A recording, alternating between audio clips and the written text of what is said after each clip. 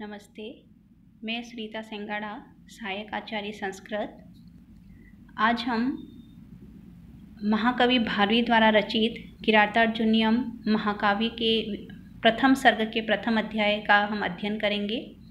जैसा कि पूर्व की वीडियो में हम किरातार्जुनियम महाकाव्य का जो सामान्य परिचय है कि ये कथा कहाँ से ली गई है और इस कथा में कहाँ पे किस प्रकार से महाकवि भारवी ने परिवर्तन किया है इस विषय में हम अध्ययन कर चुके हैं। अब इससे आगे बढ़ते हुए हम प्रथम सर्ग के प्रथम अध्याय को हम देखेंगे। जैसा कि प्रसंग हमें पता ही है कि राजा युधिष्ठिर कौरवों से द्युत क्रीड़ा में पराजित हो गया है तथा द्वैत वन में निवास कर रहे हैं। द्वैत वन में निवास करते हुए राजा युधिष्ठिर ने एक वनेचर को, एक वनवासी को दुर्योधन की संपूर्ण जानकारी के लिए आप सूचनाएँ प्राप्त करने के लिए गुप्तचर के रूप में भेजा है। वही जो वनवासी गुप्तचर हैं, वह संपूर्ण सूचनाएँ प्राप्त करके पुनः द्वैत वन में युधिष्ठिर के समक्ष उपस्थित होता है। वहीं से इस कथा का प्रारंभ हम यहाँ कर रहे हैं। महाकवि भारवी लिखते हैं, कृत प्रणामस्य महीम महीभुजे जीतां सपत्नी निवेदिष्यतः न विव्यथे तस्य मनो न ही प्रियम प्रवक्तुम इच्छन्ति मृषा हितेशिना। अब जब गुप्तचर अपनी संपूर्ण सूचनाएँ लेकर के जब युधिष्ठिर के समक्ष उपस्थित हो रहा है तो कृत प्रणामस्य। सर्वप्रथम वह गुप्तचर विनम्रता का परिचय देते हुए राजा युधिष्ठिर को प्रणाम करता है। जीताम सपत्नेन महीम महीभूजी कि महिम जिसके राज्य को, जिस राजा के राज्य को सपत्नेन जीता। सपत्न सपत्न का अर्थ होता है शत्रु। शत्रुओं ने जीत लिया है महीभूजे ऐसे महीभूज को, ऐसे राजा युधिष्ठिर को कृत प्रणामस्य। वह प्रणाम करके निवेदिष्यत, निवेदन करता है। अपनी संपूर्ण जो सूचनाएँ वह प्राप्त करके आया है, उस बारे में वह उनसे निवेदन करता है। फिर आगे कहा है न विव्यथे तस्य मनो न ही प्रियम प्रवक्तुम इच्छन्ति मृषा हितेशिना। कि तस्य मन, उसका मन, उस द्वैत सॉरी उस गुप्तचर का जो मन है, न विव्यथे, वह व्यथित नहीं होता है, वह भयभीत नहीं होता है। कि वह जो सूचनाएँ लाया है, वह जो अभी दुर्योधन की जो भी सूचनाएँ हैं, वह शायद युधिष्ठिर के प्रतिकूल हैं, वह दिनों दिन प्रगति किए जा रहा है, उसका राज्य स्थिर हो चुका है, उसके शत्रु समाप्त हो गए हैं, उसके अत्यधिक राजा मित्र बन चुके हैं, उसका कोष सुदृढ़ हैं, उसकी सेना भी सशक्त हैं।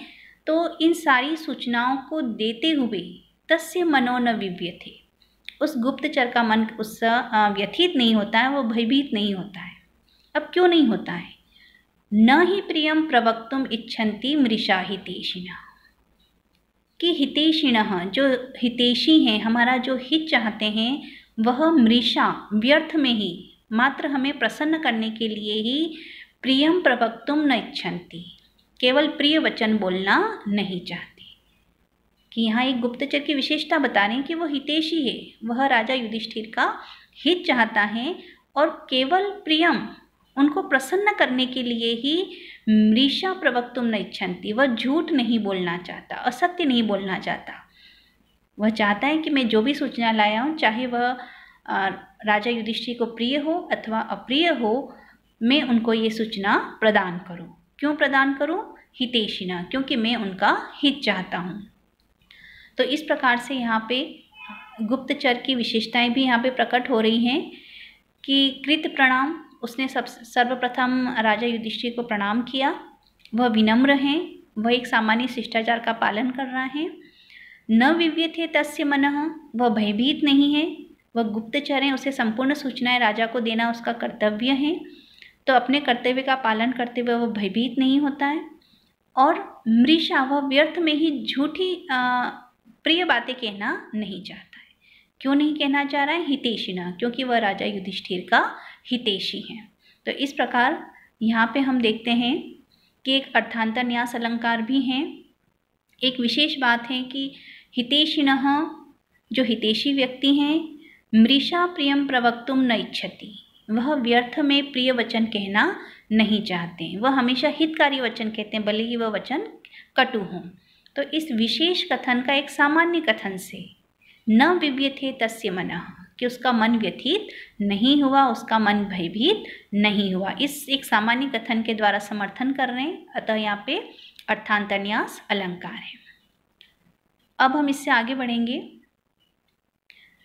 क्रियासु युक्त नृपचार चक्षुषु, न वंचनीया प्रभवो अनुजीविभिः, अतो अर्हसि क्षंतुम साधु साधु वा हितम मनोहारी च दुर्लभम वचः।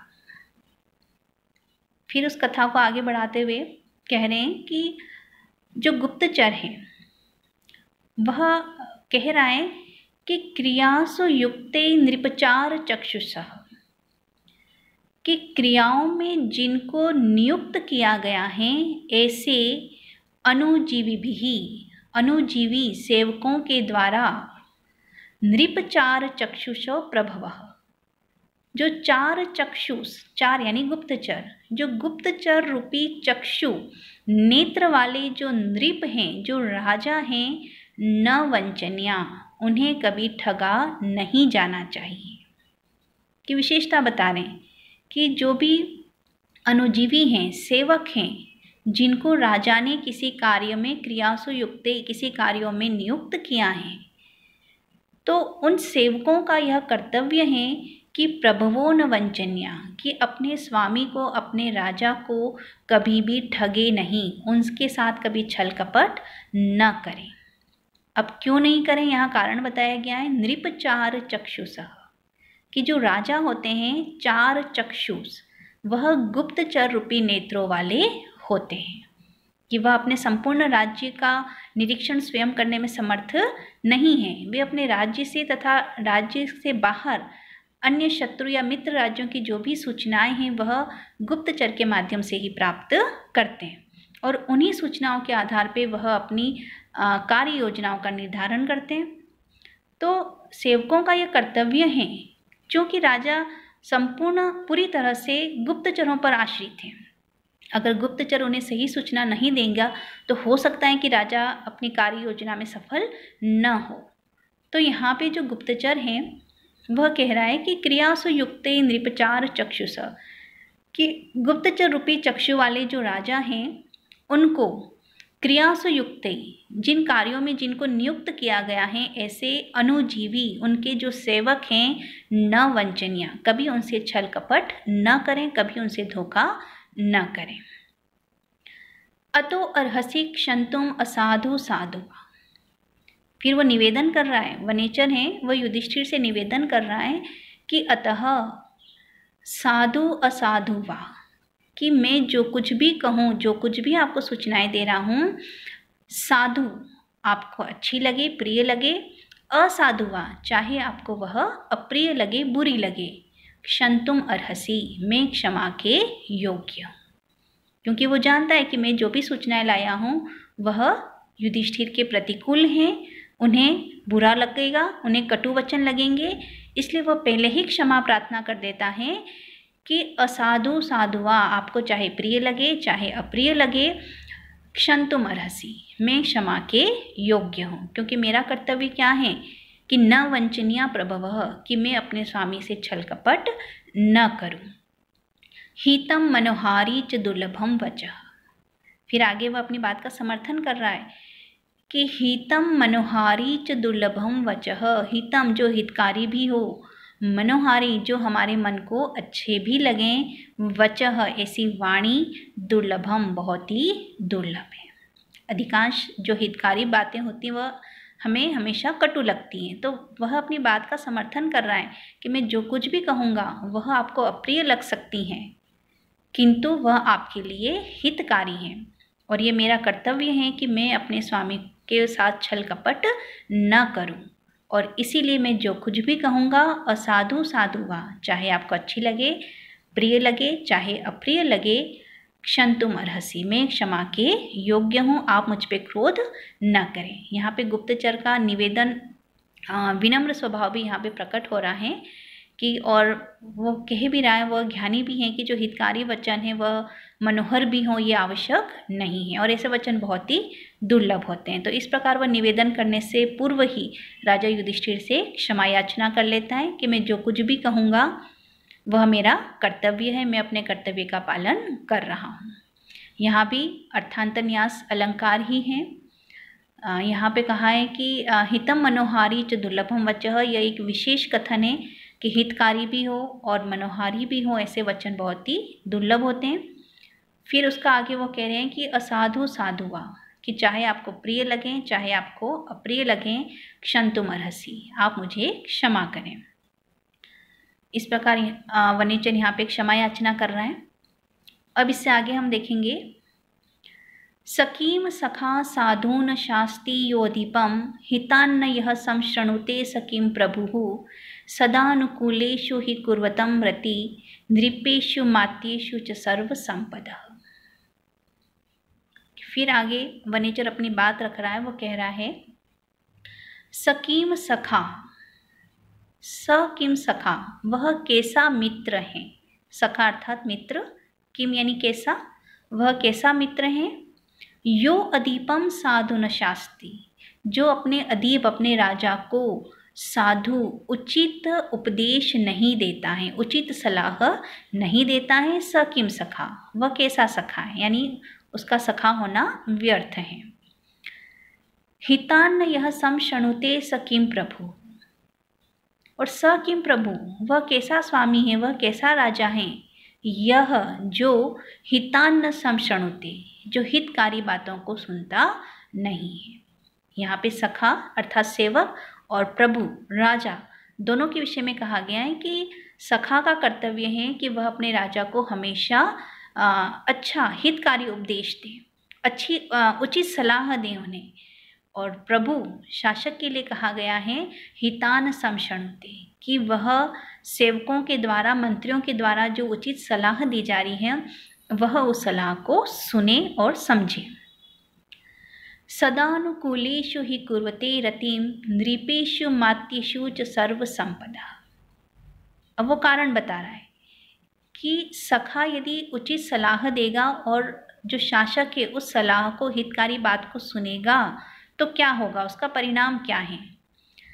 नृपेशु अमात्येशु सदा अनुकूलेशु कि जब किसी राज्य में नृप, राजा और अमात्य, उसके मंत्री सदा अनुकूल, जब अनुकूल हैं, मंत्री उचित सलाह दे रहे हैं और नृप राजा उच उचित सलाह को सुन रहा है, समझ रहा है। जब दोनों एक दूसरे के प्रति अनुकूल व्यवहार कर रहे हैं सर्व संपद रतिम कुर्वती। तो उनके राज्य में सर्व संपद सभी प्रकार की संपत्तियाँ रतिम कुर्वते प्रेम पूर्वक निवास करती हैं। तो इस प्रकार यहाँ बताया गया है कि सखा सेवकों का कर्तव्य है अधिपम साधु शास्त्री, राजा को उचित सलाह दें।